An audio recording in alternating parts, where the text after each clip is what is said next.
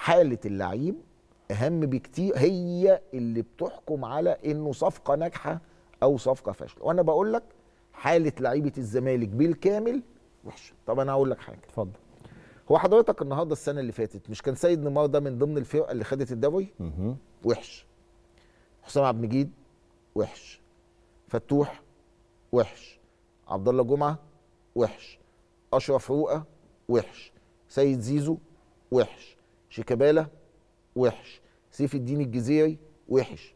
مش كده؟ يوسف أسامة نبيه. يوسف أسامة نبيه وحش. مم. سيف فاروق جعفر اتعور في دراعه وما كملش الايه؟ الم... ال... ال... ال... ال... البتاع ده. كام لعيب كده؟ 10 مم. مع حارس مرمى عواد مم. يبقوا كام؟ 11 أو ال 11 دول ولا فيهم واحد صفقة جديدة. ودول اللي خدوا البطولة السنة اللي فاتت. مم. صح؟ ولا أنا غلطان؟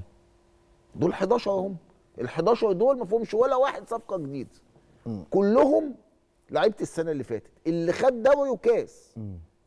طب ليه السنة دي هو عامل كده؟ لأن حالته وحشة. حالته وحشة. هو كان ممتاز السنة اللي فاتت.